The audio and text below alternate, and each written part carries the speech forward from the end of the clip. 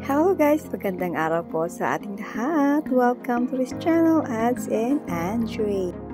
Dito talaga masarap magkape.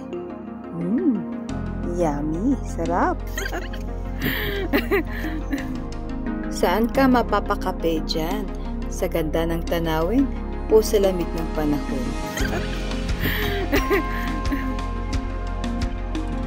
Welcome to our strawberry farm, full of yummy berries and full of joy. Welcome to our farm. This is our. It's free to eat. Just visit. And have a free coffee.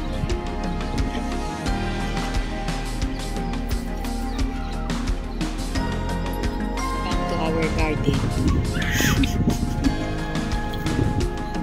In La Trinidad.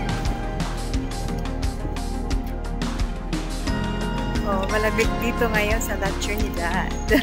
This is our farm. Disclaimer. Disclaimer! Hindi lahat ay aming pag-aaral. Ito ay panaginip lamang.